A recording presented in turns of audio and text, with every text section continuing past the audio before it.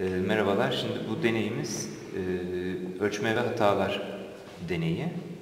Ölçme ve hatalar deneyi de e, muhtelif malzemelerin nasıl e, e, şeylerin, ebatlarının ağırlığının, ondan sonra e, şeylerinin hacminin ya da ne bileyim uzunluğunun bunların nasıl ölçüldüğüyle ilgili e, şeyler var, bilgilendirmeler var ve esas önemli olan da bu ölçümlerde e, yapılan hata e, oranlarının tespitini yapmak var.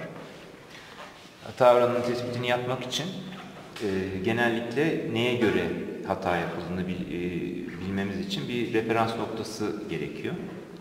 Yani bir esas bilinen değer gerekiyor ve bizim yaptığımız ölçüm oradan yüzde ne kadar hatalı olup olmadığını e, şey yapabiliyoruz, hesaplayabiliyoruz. Burada, bu deneyin esas amacı da bu zaten. Şimdi burada muhtelif malzemelerimiz var. Küpümüz var, dikdörtgenler prizması var, silindir var, küre var ve konimiz var.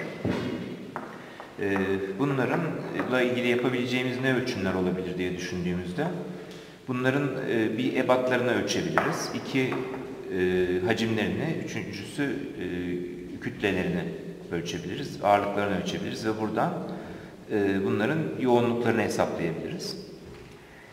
Ağırlık ölçmek için iki tane kullanacağımız aparat var. Birincisi bu eşit kollu terazi.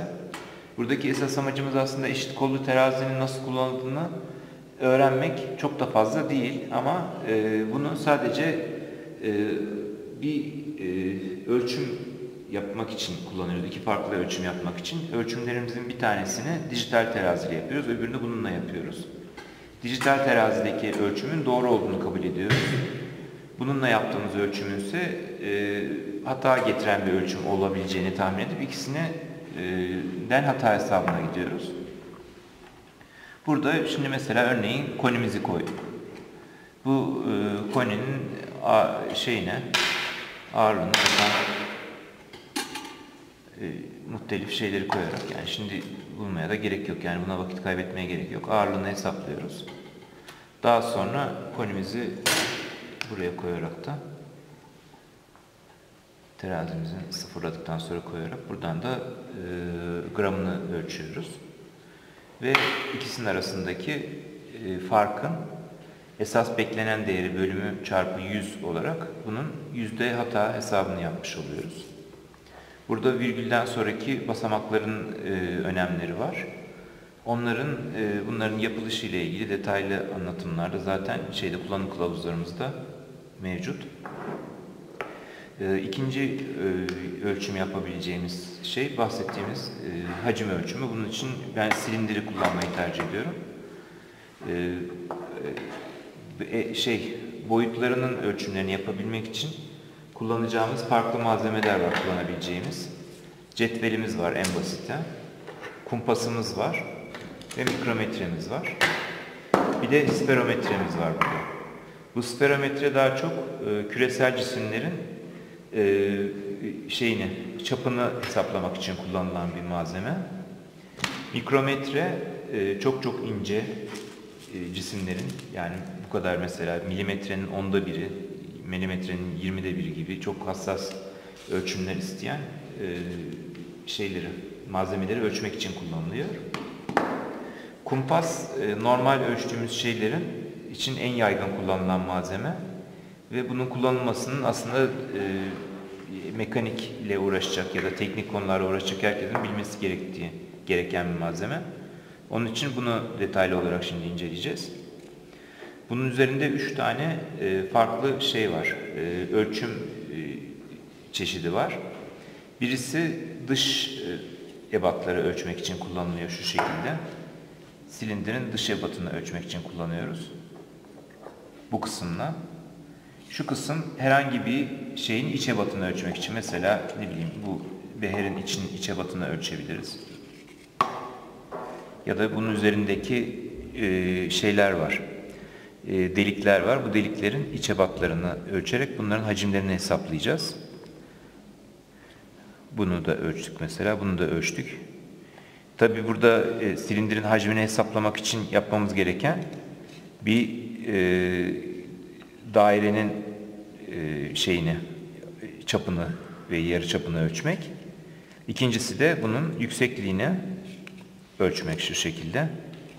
Ya da tabii ki burada da derinliğini ölçmemiz gerekiyor. İçeridekinin derinliğini nasıl ölçeceğiz? Bunun için de bu üçüncü kısmımız var. Bunu e, şu şekilde e, ölçeceğimiz derinliğe doğru daldırarak buradan bunun ölçümünü alabiliyoruz şu şekilde. Böylece bunun üçünü görmüş olduk. Şimdi burada bu hassas ölçümü nasıl yapıyoruz diye göstereceğimiz zaman burada bunun derinliğinin 2 santim olduğunu 2 santimin üzerinde olduğunu gördük. 20 milimetre. 20 milimetreyi de hatta 21 milimetreye geçiyor. 21 ile 22 milimetre arasında. Bunun şimdi 21 ile 22'nin arasında ölçmek için burada e, altta bir tane skala var. Sıfırdan e, 10'a kadar çıkan bir skala var. Buradaki değerlerin, değer çizgilerinin herhangi birinin yukarıdakiyle tam birebir karşılaştığı bir nokta var. Diğerlerinde sağa sola doğru kayma oluyor. Birebir karşılaştığı noktayı burada yakalamaya çalıştığımız zaman bunun yaklaşık e, tam 5 civarında şey olduğunu, karşıladığını görüyoruz bunu. Bu 5'te karşıladığına göre e, bu e, 22 21 nokta 5 50 yani daha doğrusu e, milimetre anlamına geliyor. Eğer daha düşük mesela olsa e, 40 47 48 49 21.49 mesela olabilir. Yani o o hassasiyette e, ölçüm yapabiliyoruz milimetrik olarak. Bu kumpasın kullanımı bu şekilde. Bununla ilgili e, deneyim kazanmak için e, yani bir bayağı bir ölçüm yapmak gerekiyor aslında. Şimdi e, bunun yüksekliğini ölçtük.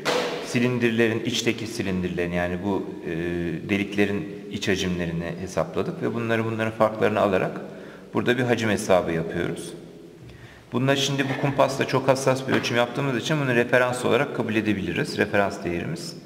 Sonra bunun içine su koyup mesela bunu bunun içine e, atarak bu suda, sudaki artış miktarını e, gözlemleyip onu da bizim e, kaba hatalı hesabımız olarak alıp gene hata hesabına gidip buradan da bir e, yüzde hatalı hacim hesabı yapıp daha sonra oradan e, şeyi yoğunluk hesabına gidip yoğun, yoğunluktaki hata miktarını şey yapıyoruz, hesaplıyoruz.